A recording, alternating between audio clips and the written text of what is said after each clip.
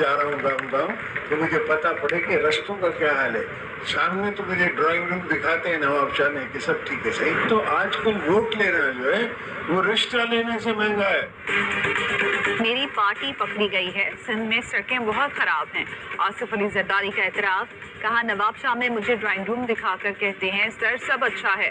तनकीद होती है कि हमने सूबे में तरक्याती काम नहीं कराए।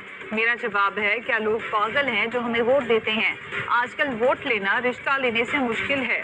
अपने विजन की वजह से अवाम में मकबूल हूँ। भाग जाता या छुप जाता तो अवाम कहते अच्छा तुम हो जो भागे हुए थे, लंदन में रहते थे।